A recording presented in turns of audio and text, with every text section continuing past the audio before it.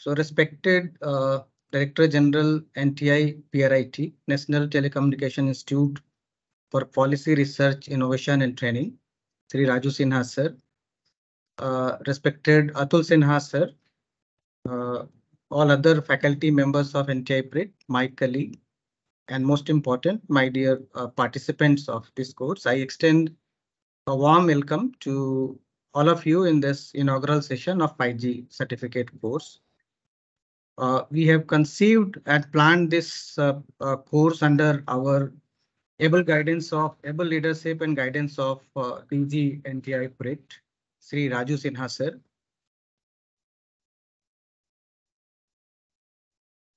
So it's my privilege to welcome sir in this session. I also welcome uh, Sri Atul Sinha sir and other colleague from NTIPRIT and DOT. Uh, sir, just a moment. Sir, we had received more than uh, 450 nominations for this course, and we have uh, uh, actually selected around 260 to 61 out of these numbers, sir. So as all of us know that the 5G rollout in India is happening, uh, we we say that it is fastest rollout in the world, and as of now, uh, we have almost 1.5 lakh 5G base station in our country, uh, out of total about 7.5 lakh total base station which we have in our country. So almost 20% of the base stations, uh, uh they have 5G uh, base stations as of now. So it's important uh, and the right time to start such a course, although it's a fourth batch of the 5G certificate course. Uh, sir, we have 50 participants from uh, various units of Department of Telecom, uh, including uh, CDOT and also some officers from other uh, central government ministries, uh, including MHA, uh, RailTel, CDOT, ITI and all. So on behalf of NTIPRIT, I welcome all of you to this course. sir, as we know that to actually roll out and uh, create use cases of 5G will require huge number of uh, skilled manpower uh, in the area of 5G and allied uh, services. Uh, so Telecom Sector Skill Council uh, is one of the organization which takes care of skilling at mass level.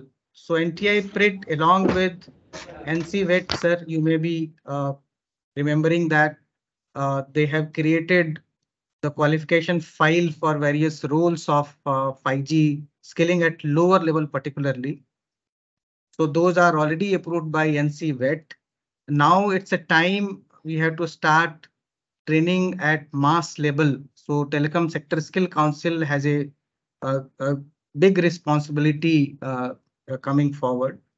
So on request of Telecom Sector Skill Council and also on, on instruction of Secretary DOT, we have included about 22 master trainers from Telecom Sector Skill Council uh, who have joined this particular session.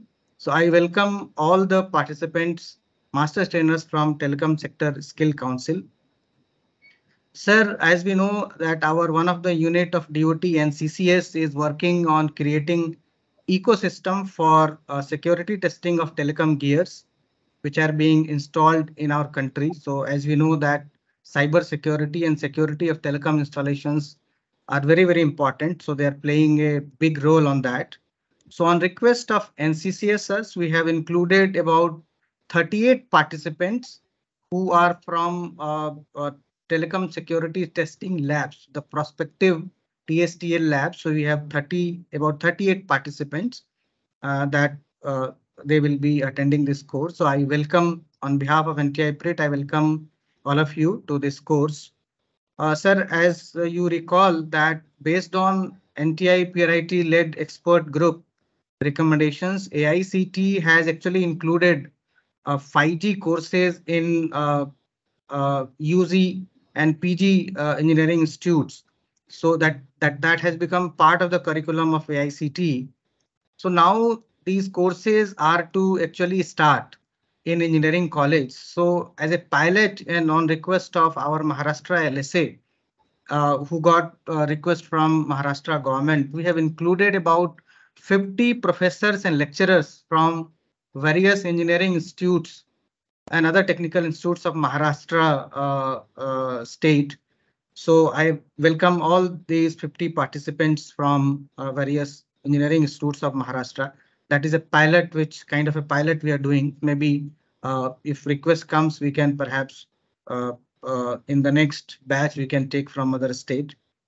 Uh, sir, most important is like one of the public sector telecom companies, BSNL, our own company. And uh, as we know that BSNL would be installing uh, indigenous uh, 4G gears developed by CDOT and other indigenous company in our country. So they would also be rolling out 5G subsequently. So it's very important that their officials are also trained on uh, various aspects of 5G.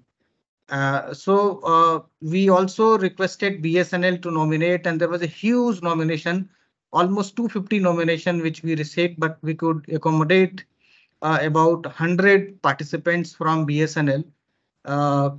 So we included everyone who is in the field of mobile, who are from training centers, either ALTTC or their zonal training center or regional training center, and also uh, people from QA and all senior officials like we have PGMs also enrolled for DGMs, various levels. So we have tried to include all the senior officials and officials from training centers and those who are actually working in the field of mobile. So I welcome all the 100 participants from BSNL in this course. And I also welcome all other participants. Uh, I might have missed taking the name because there are many other participants from central and state uh, uh, government. So I welcome every one of you. Uh, uh, so with this, uh, thank you so much. And I hand it over to Atul for further taking care of proceeding into this session.